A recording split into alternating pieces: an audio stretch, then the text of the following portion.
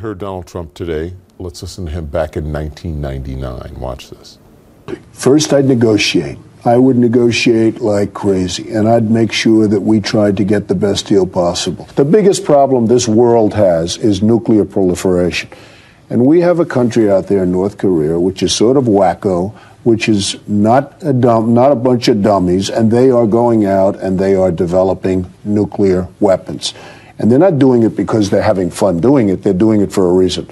And wouldn't it be good to sit down and really negotiate something, and ideally negotiate? Now, if that negotiation doesn't work, you better solve the problem now than solve it later, Tim. And you know it, and every politician knows it, and nobody wants to talk about it. Jimmy Carter, who I really like, I mean, he went over there, it was so soft. These people are laughing at us. I think that Donald Trump was actually quite intelligent. If you listen to what he was saying, he was saying they're not doing this for no reason. They're developing these weapons for a reason.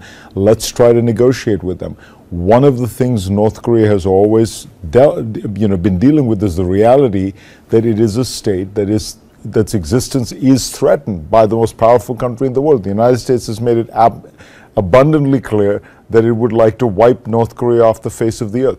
The only ally they have in the world, China, is now essentially siding with the United States, voting against them in UN sanctions.